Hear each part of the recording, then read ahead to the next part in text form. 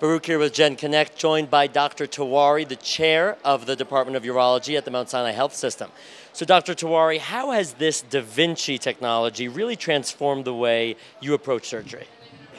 Surgery used to be surgeon's hands, surgeon's minds, and the patient's skin and tissue. But in order for me to do surgery with the conventional way, I had to cut open a big part of the body, put my hands inside, and remove a diseased part and put it all back together. Usually it involved a large incision, lots of blood loss, and patient needing time to heal. Ultimately, what needed to happen that I needed to see the target tissue in much more magnification. I needed to have small instruments which can be introduced in the patient's body, and that is what robot gave me. For a change, it allowed me to put my fingers inside the patient's body without actually needing to make a cut. It allowed me to give a magnification inside the patient's body through a lens, and that to happen in an immersive 3D atmosphere. So I see things in a 3D atmosphere inside the body. That allows me to actually be more precise, lose less blood, make lesser cuts, and allow patients to heal faster.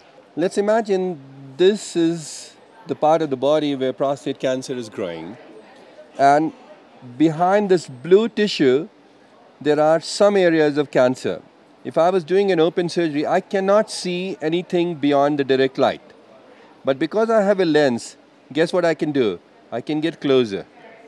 I can get closer, and not only I can get closer, I can move my lens on this side, and I can see on this side, and there you go. I saw the cancer hiding behind. And this is the precision you can have and you can put things together, you can reconnect things together, you can do things and join them together in a much more different way. You can use different kind of and reconstructive procedures and put body back together in a much more precise way. If I was not doing it open, I would have been seeing things just like this, about this small. So, how does this affect both the results that the patient receives and their quality of life through recovery after? So, one of the immediate benefit for the patients is that they lose much less blood.